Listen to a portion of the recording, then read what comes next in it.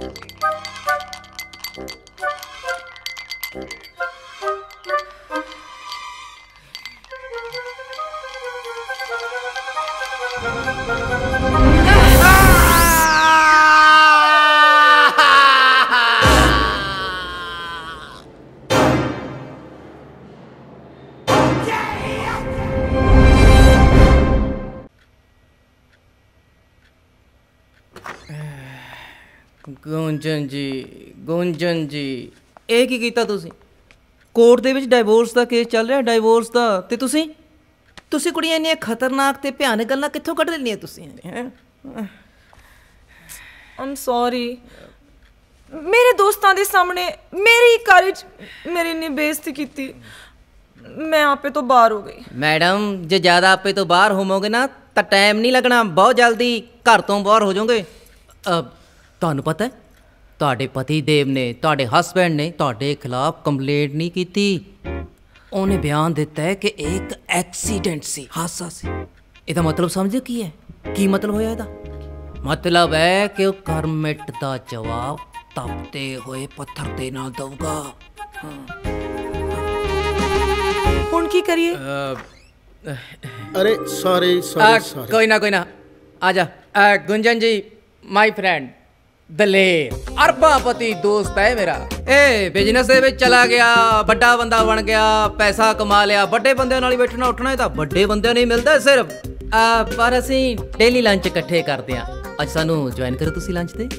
Please join ਅਸ ਆ, ਨਹੀਂ ਨਹੀਂ ਥੈਂਕਸ ਮੈਂ ਚਲਦੀ ਆ ਤੁਸੀਂ ਬਸ ਹੁਣ ਕੇਸ ਸੰਭਾਲ ਲਵੋ।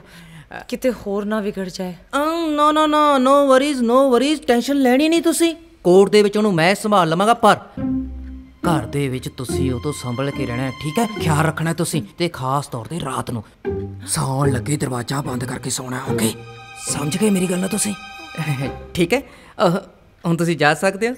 ਬਾਏ। ਸੀ ਯੂ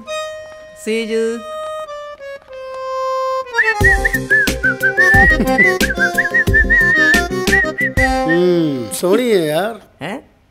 ਖਤਰਨਾਕ ਵੀ ਹੈ। ਚੀਅਰਸ